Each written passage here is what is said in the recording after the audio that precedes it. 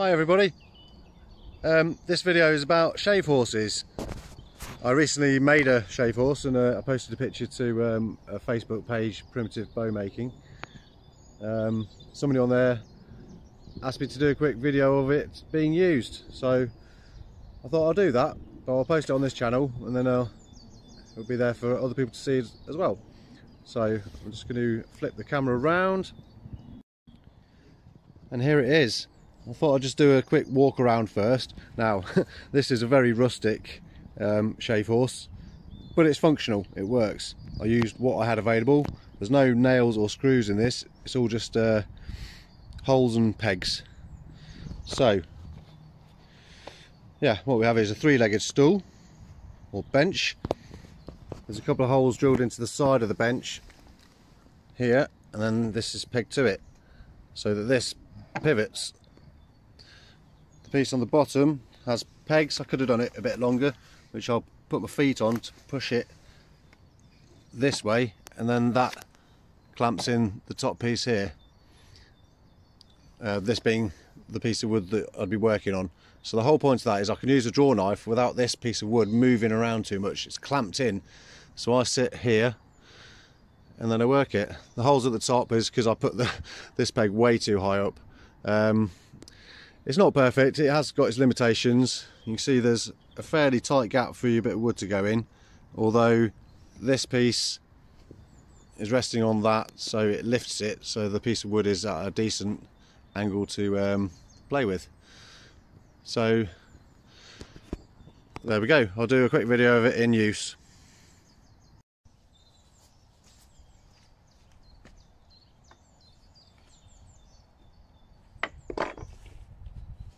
Let's do some measurements first.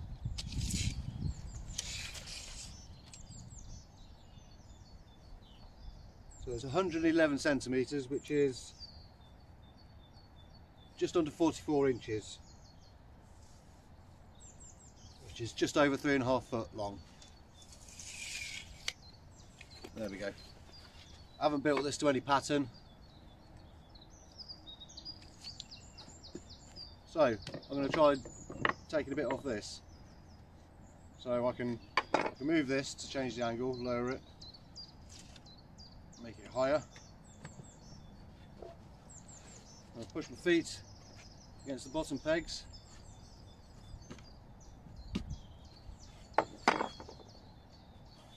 That's clamped in nice now.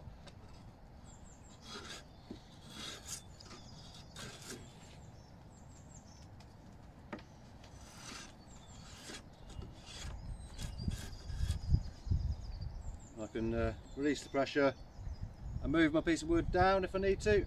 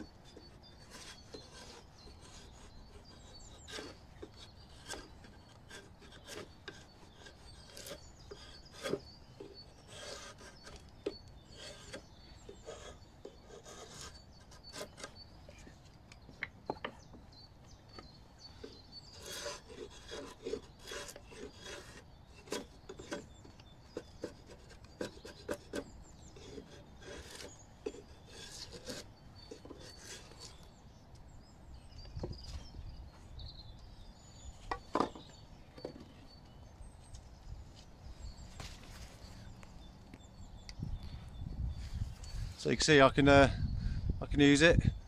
It's not the most stable of things. I did put the legs in um, about a year ago and never got around to finishing it, so I've done that now. Um, but the legs are a little loose. I can saw the top of that bit where it goes through and put a little wedge in, that'll tighten it. Rain's coming again. Anyway, I built this for um, making some of these woodworking projects such as, such as bow making a bit easier and um, show my mate Dan and then Dan's built one even better than mine Okay, he used screws and stuff, but he's done a great job. So I'm going to um, put a clip of uh, Dan's little shave horse in as well, so you can see another example of uh, of another one. I think Dan's is better than mine, to be fair, but you know, it's not a competition. Anyway, hope this has um, answered a couple of questions, given you some ideas if you want to do something similar. Um, I'm sure you can find patterns for shave horses on the internet um, and on certain pages on Facebook. There's people show examples of shave horses they've built as well. So yeah, another little woodworking project.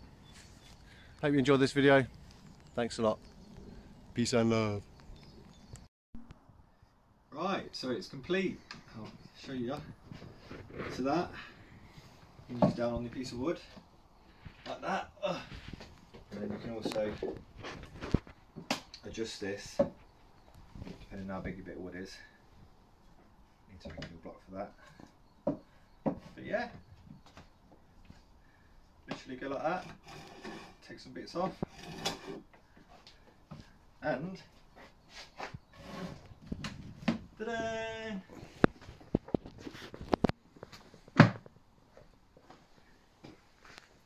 Anywhere.